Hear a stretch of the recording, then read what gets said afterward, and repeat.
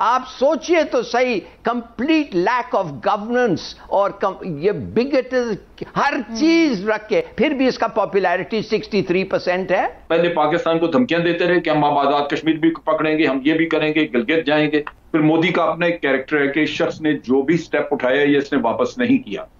उसके इफेक्ट्स निकले हैं उसका उसके मसाइल पैदा हुए हैं लेकिन वो शख्स जो है वो अपने स्टेप के ऊपर जमा रहा। और यहाँ भी यही सूरत है कि वो इससे कभी नहीं हटेगा। जो मुद्दे वो ऐसी सिचुएशन में है कि जहाँ पर हमारे गहरे स्टेक्स भी हैं और नज़र रखने की भी ज़रूरत है। इस हवाले से प्राइम मिनिस्टर ऑफ़ पाकिस्तान ने इंपॉर्टेंट पॉलिसी स्टेटमेंट्स दिए हैं जो मैं आपके साथ शेयर करना चाह रही हूँ।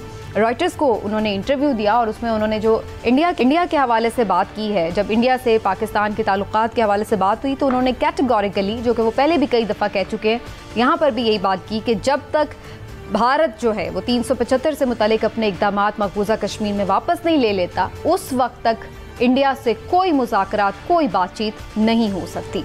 इसके साथ साथ मैं आपको ओवरऑल वैसे बता दूँ कि उन्होंने ये जेस्टर दिया कि पाकिस्तान बिल्कुल मुजाकर के लिए तैयार है भारत के साथ और चाहता है कि यहाँ पर अमन कायम हो, लेकिन उसके लिए उन्होंने फिर वही बात की कि भारत मकबूजा जम्मू कश्मीर की हैसियत की बहाली का सबसे पहले लायामल दे फिर उन्होंने कहा कि मौजूदा हालात में भारत से तजारत करना कश्मीरियों और उनके शहीदों से गद्दारी होगी। उन्होंने कहा कि हमेशा भारत के साथ महजब और वाज ताल्लुक चाहता हूँ। बर सग़ीर में गुर्बत ख़त्म करना चाहते हैं तो तजारत बेहतरीन रास्ता है। इसके साथ साथ उन्होंने अफ़गानिस्तान के हवाले से भी अहम पॉलिसी स्टेटमेंट दिया और कहा कि अफ़गानिस्तान में स्ट्रेटेजिक गहराई की पॉलिसी तब्दील की है। अफ़गानिस्तान से मुतालिक पाकिस्तान में इस वक्त बहुत से खदशात हैं। अगर पड़ोसी मुल्क में खाना जंगी हुई तो सबसे ज़्यादा मुतासर पाकिस्तान होगा। अमेरिका के अफ़गानिस्तान से इनखला से कबल सियासी मफामत की भरपूर कोशिश करेंगे और उन्होंने ये भी कहा कि अमरीकी फ़ौज के इनखला के ऐलान से ही अफ़गानिस्तान में तशद में इजाफा देखने में आया है। तो गोया ज़ाहिर है उन्हें भी इस चीज़ का इदराक है कि सिचुएशन यहाँ पर भी का, काफ़ी ख़राब हो सकती है। इस सारी सूरत हाल में जब पाकिस्तान के मशरकी और मगरबी दोनों बॉर्डर्स जो हैं वो इस वक्त हमें नज़र आ रहे हैं कि कुछ कशीदा खुदा न खास्ता हो भी सकते हैं तो ऐसी सूरत हाल में पाकिस्तान की स्ट्रेटजी क्या होनी चाहिए? कैसे पाकिस्तान को सिफारती लिहाज से भी डील करना चाहिए? जनरल साहब आज आप हमारे साथ मौजूद हैं तो मैं सबसे पहले आज आपसे ही बातचीत का आगाज़ करना चाह रही हूँ।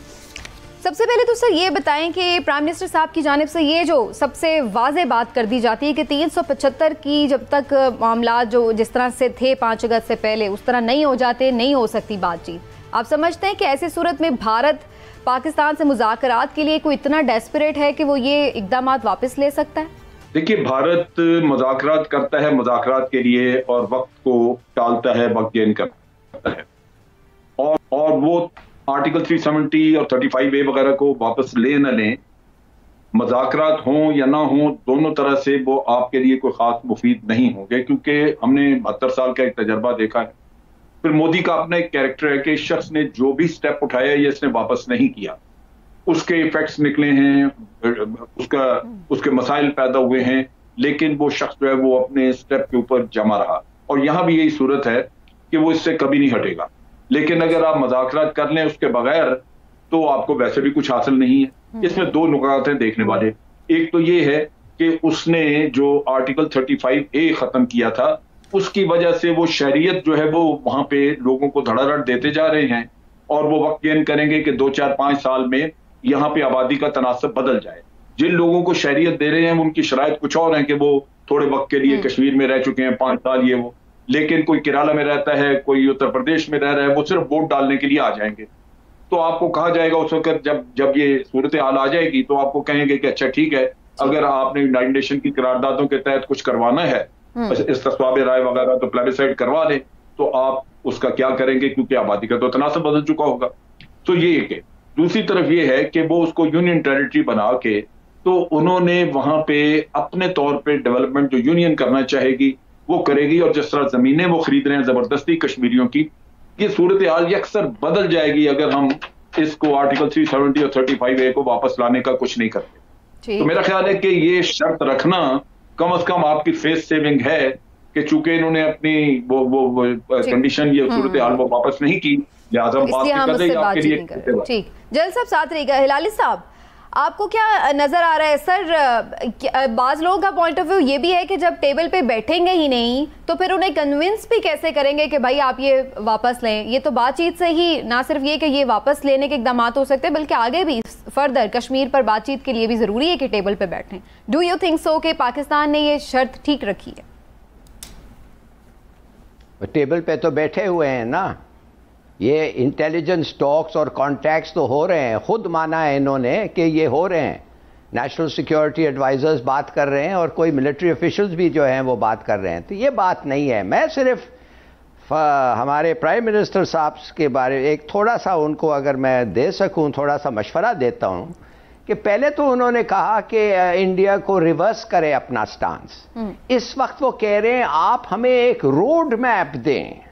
रोड मैप दें कि ये कैसे आप करेंगे इसके मतलब है कुछ ऐसी चीज़ दें जिसमें रिवर्स तो नहीं होगा फ़ौरन मगर वो अच्छा। उम्मीद होगी रिवर्सल की जिस पे हम्म। बात शुरू होगी भाई ये क्या ज़रूरत है आपको इस किस्म के कंसेशंस देने के लिए क्या आप देख रहे हैं उधर कुछ लचक है, कोई कोई ज़रूरी है ऐसे कंसेशंस बिल्कुल ज़रूरी नहीं है, बल्कि मैं तो समझता हूँ प्राइम मिनिस्टर साहब को दो तीन और शर्तें लगाना चाहिए। पहले तो वो ये लगाना चाहिए कि पॉलिटिकल प्रिजनर्स को आप छोड़ो।